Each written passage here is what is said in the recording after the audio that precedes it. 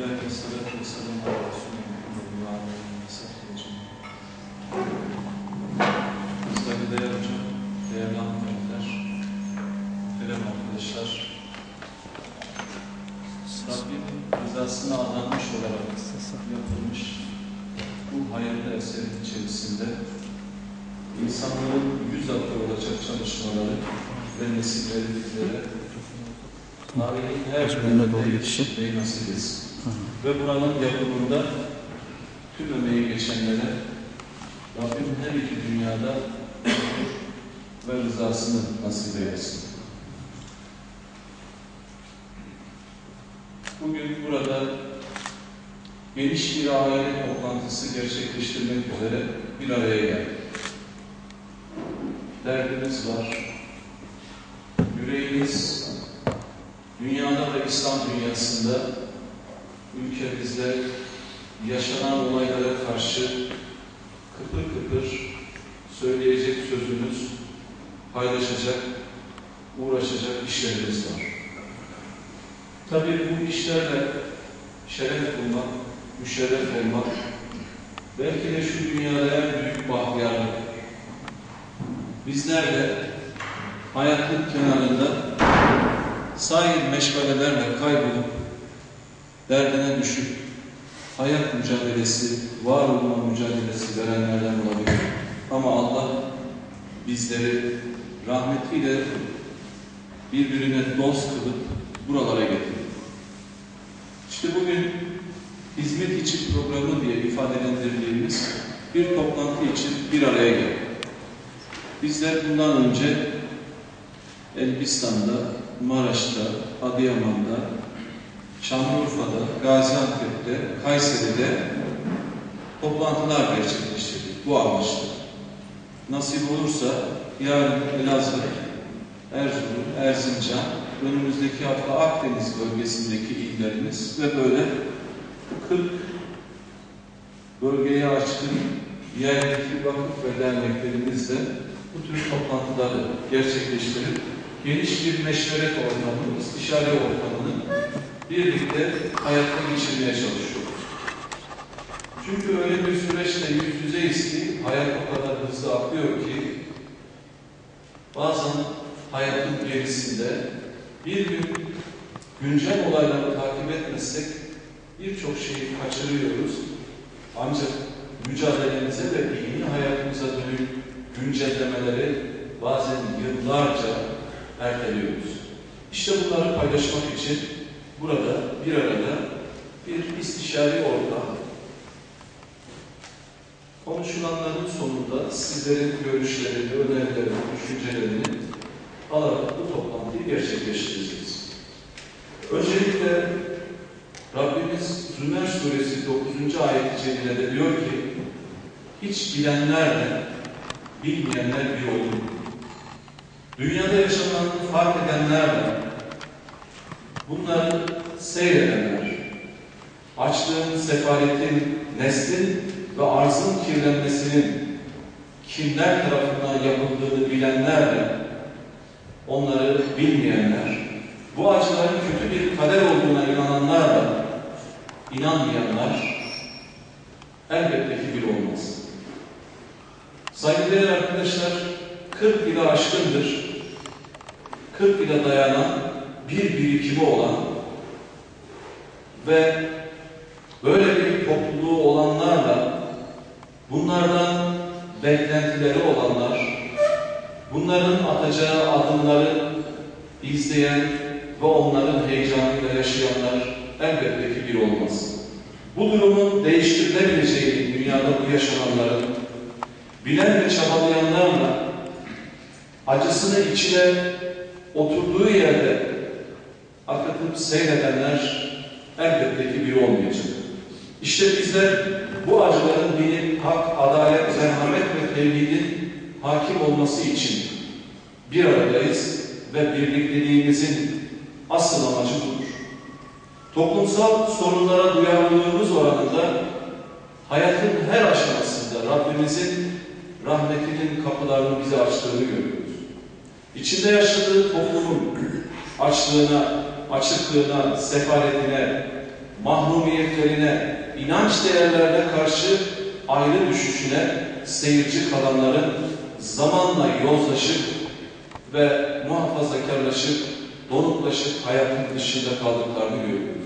Bizler etrafımızda yaşanılan bunlara gösterdiğimiz ses ve duyarlılık oranında, gösterdiğimiz çaba oranında Allah rahmetinin kapılarını her daim, her dönemde inanan kullarını açmıştır.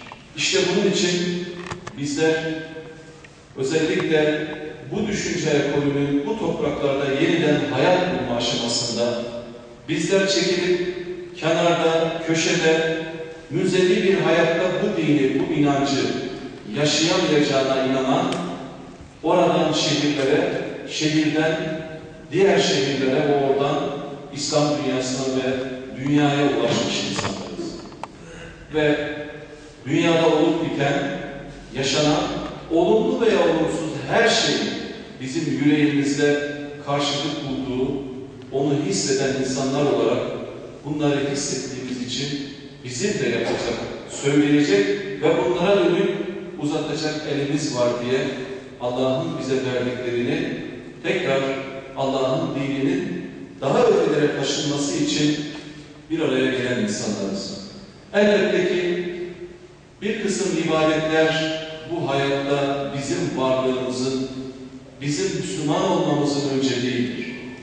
Ancak namaz kılmamız, oruç tutmamız, hacca gitmemiz, işte buna dair bir kısım ibadetleri yapmamız bizim sorumluluklarımızı, sosyal sorumluluğumuzu karşılamıyor. Bakın yanı başımızda Suriye'de, İslam dünyasında dini hayatın en yoğun yaşandığı birkaç ülkeden biridir. Suriye, Yemen, bir kısım bölgeleri de Suudi Arabistan. Fakat Müslümanlara en çok zulmün yapıldığı yerlerin de başındadır. Bizler inanç değerlerimizi adaletin ve merhametin hakim olduğu bir dünya oluşana kadar yaşamadıktan sonra sadece bireysel bir dindarlık olarak bu meseleyi algılayamayız. İşte ona doğru bir baş kaldırının nasıl Müslümanlar için bir direnişe dönüştüğünü Suriye'de hep beraber müşahede etmekteyiz. Onun için bizim bunun ötesinde bir mücadelemiz ve bunu değiştirecek merhameti, adaleti, tevhidi örgütleyecek bir sorumluluğumuz var. İşte bu çerçevede bizler tarihi bir yüzleşmeyle karşı karşıyayız. Bunları görmezlikten gelenlerden olabilirdik ama gördük, işittik, fark ettik. Her gün bunları seyrediyoruz ama sadece acısını içimize aktamayız. Çare biziz dememiz gerekiyor. Gidip oradaki acılara biz de bir şeyler yapabiliriz diyen bir zihniyetle meseleye bakıyoruz.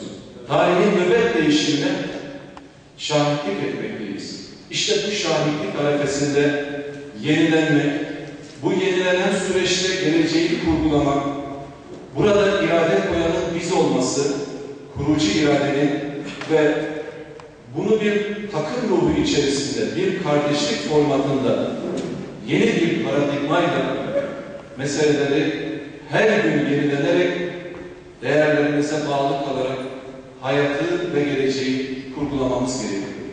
Oturup elbette ki bu yaşanan hadiselere karşı bizim duamız da olacak, bunlara karşı sözümüz de olacak. Ama dönem bunlarla beraber ileriye doğru bir adım atma dönemidir. Geçtiğimiz günlerde bir deprem yaşadık. Acı bir olay.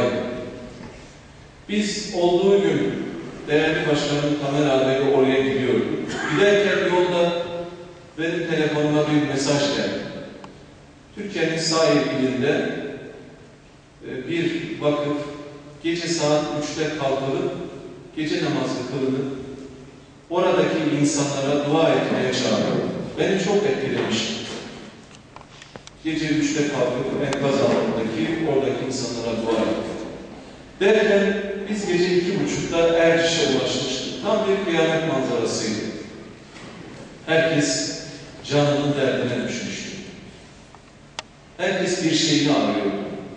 Ve orada enkazların üzerinde şehrin ışıkları da yok. Işıklar, projektörlerle aydınlatılmış. Harıl harıl insanların çalıştığını gördüm.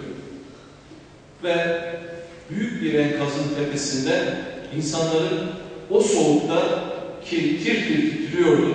O soğukta beton kırıcılarla ki ona burada e, Makrut'tan şahit olan o ortamları gören arkadaşlar da var.